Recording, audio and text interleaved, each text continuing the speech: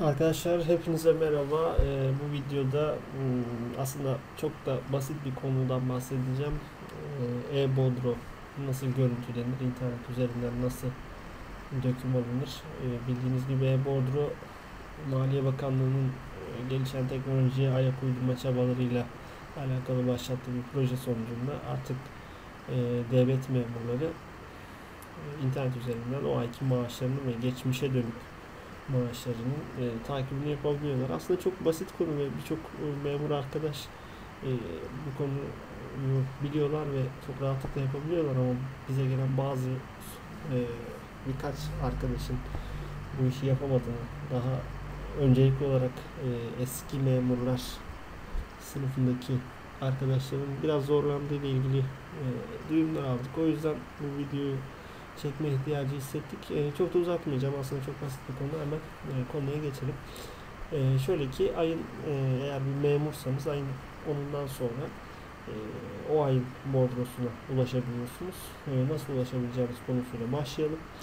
E, internete bağlı bir bilgisayar üzerinden e, herhangi bir tarayıcıdan e, ben size sıfırdan anlatacağım. Herhangi bir link vermeden e, diyelim ki e, işte Google adresine gittiniz e, orada yapmanız gereken Google geldikten sonra sadece e-bordo yazıyorsunuz. Zaten direkt çıkar.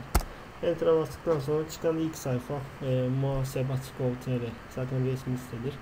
E, buraya tıkladığınızda e, bir uyarı geldi. Çok önemli değil. E, bu sayfa yani şu logoyu gördüğünüzde e, şuraya da e, tabii ki çok dikkat edin.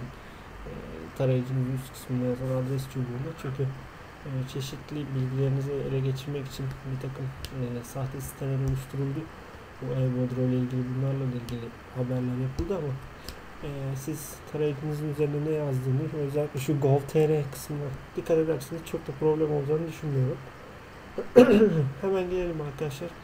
E, bu formu dolduracağız. Form nasıl dolduracağız? İşte TC kimlik numarası, memuriyet sicil numarası, emekli sicil numarası. Zaten bunları siz kendi kişisel bilgileriz. Bunları bildiğinizi kabul ettikten sonra e, buralara dolduruyorsunuz. Yani örnek vermek gerekirse bu şekilde dolduruyorsunuz e, klavyenizde. Daha sonra işte e, yıl kısmından artık e, 2010 ve öncesi yok tabii 2010 ve sonrasındaki maaşlarınıza ulaşabiliyorsunuz. E, diyelim 2014 e, yılının işte Kasım ayı diyeceksiniz. E, buradan da sözleşmeli mi yoksa memur mu olduğunu seçebiliyorsun. Şu anda sadece memurlar açık. Bu sistem daha ileriki dönemlerde farklı bir durum olursa onunla ilgili bilgilendirme yaparız zaten. Ee, mevcut ayın yani içerisinde bulunduğumuz ayın bodrosunu öğrenmek için e,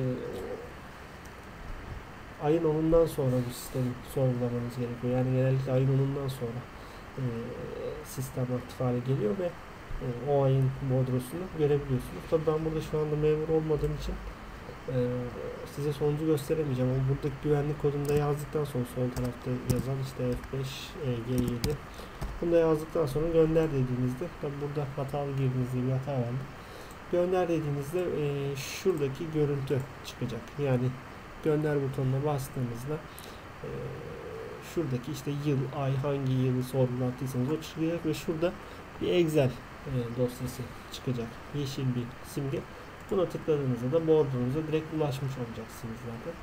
Ee, daha başka da çok anlatılacak herhangi bir şey yok. Ee, dediğim gibi bu bilgiler ışığında e, sadece memur arkadaşlar buradan bordoları takip edebiliyorlar. Çok da basit bir konu. Bilmeyen arkadaşlar için de e, faydalı bir video olduğunu düşünüyorum. Herkese teşekkür ederim arkadaşlar. Sağ olun.